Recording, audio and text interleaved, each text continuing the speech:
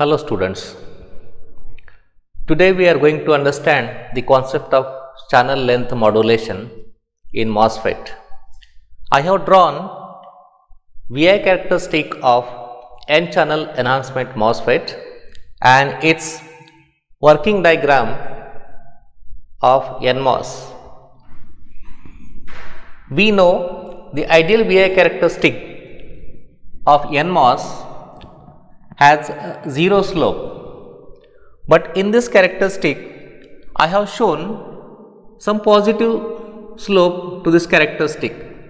If you take this two points, you will get some positive slope here. The line is somewhat rising and it shows that dependence of drain current on VDS. So, that is the point of discussion. As we know, we have a drain current in saturation. See, drain current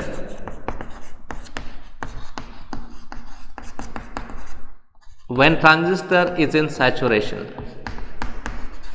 Already we have discussed this equation. ID is it is Kn VGS minus VTN overdrive voltage square.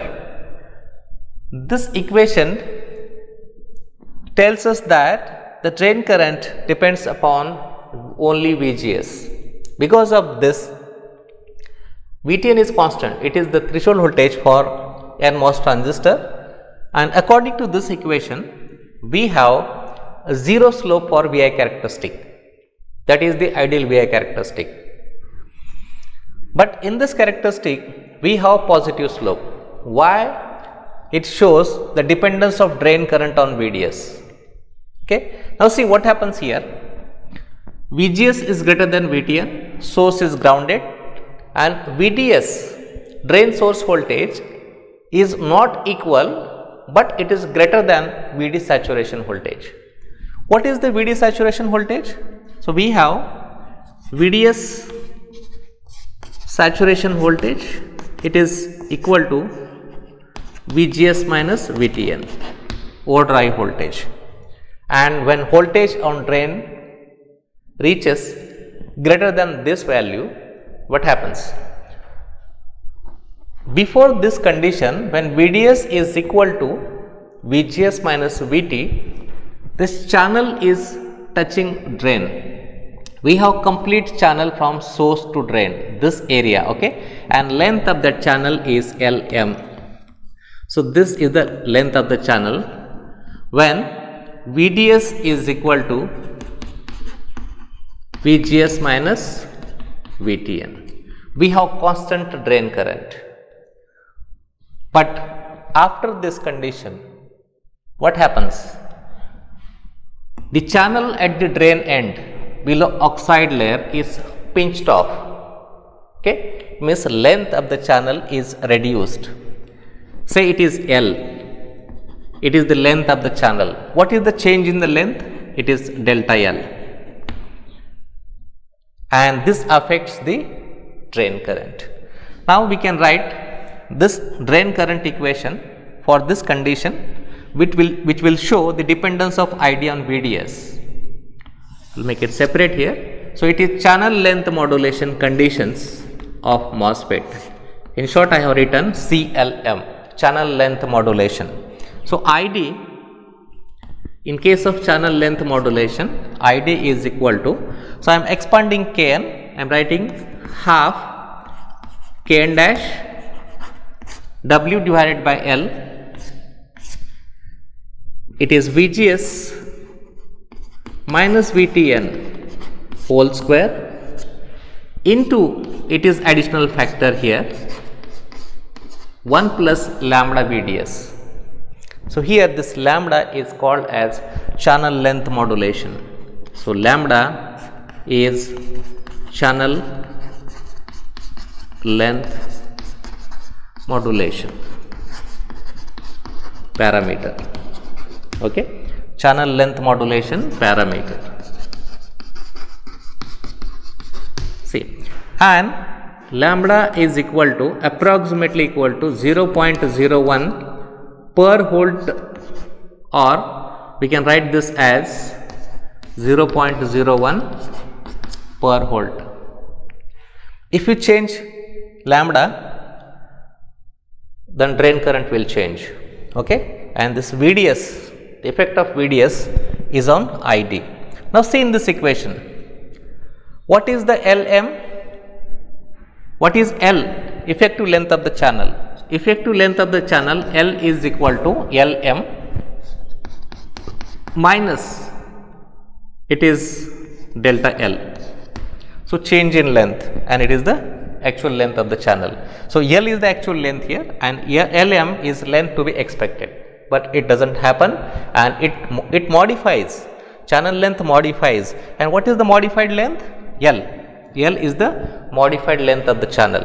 Now, if you see this equation, in this equation we have see we have L at the denominator here and ID. Now, see VDS is here at the numerator VDS. If you increase VDS, what happens? The length of the channel decreases and it is inversely proportional to the drain current.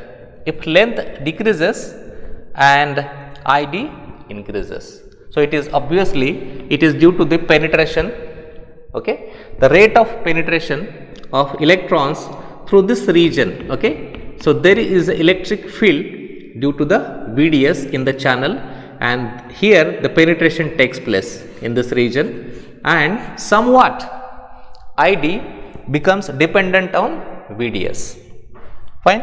So, we are going to solve examples on channel length modulation.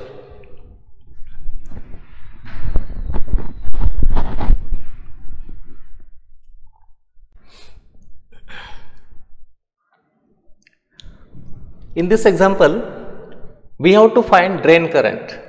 Calculate drain current for NMOS, N channel enhancement MOSFET transistor operating with VGS is given 4 volt, VTN 1 volt and Conduction parameter is 1 milliampere per volt square.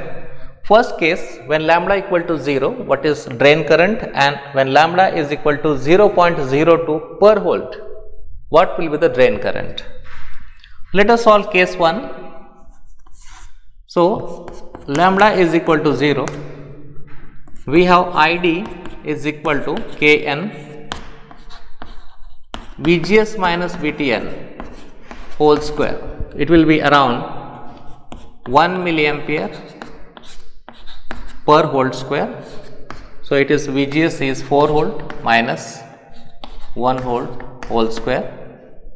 So, it is 1 milliampere per volt square. So, it is 3 volt square. So, it is 1 milliampere whole square into 9 whole square. So, whole square whole square gets cancelled. So, it is 9 milliampere is the drain current. Second case when lambda channel length modulation parameter is 0.02 per volt. So, what is the drain current? So, it will be ID sorry. So, we forgot to put 1 plus VDS here. So, it is around so, we have equation in case of channel length modulation it is 1 plus lambda VDS. So, if you substitute here, so it will be 0. So, lambda is 0, this complete term will be 0 and it will be 3 volt square. In this case, ID is Kn VGS minus VTN square into 1 plus lambda VDS. So, this is the equation for drain current due to the channel length modulation and it is Kn we have 1 milliampere per volt square. So, it is already we have this 9 volt square. So, this gets cancelled into 1 plus 0.02 volt okay per volt we have to substitute volt 0.02 into VDS what is the VDS here? So, VDS is not given.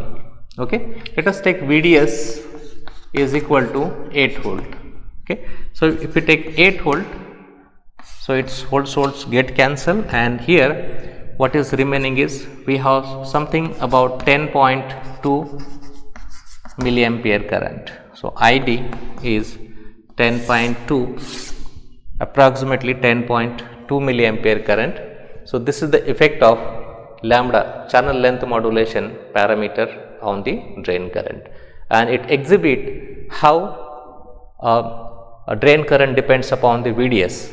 So, we because of that we get a slight slope for VI characteristic and this lambda is very important parameter. So, it decides the finite output resistance which is non-ideal characteristic of MOSFET. So, we have to derive equation for that and there you will understand what is the role of lambda on finite output resistance of MOSFET.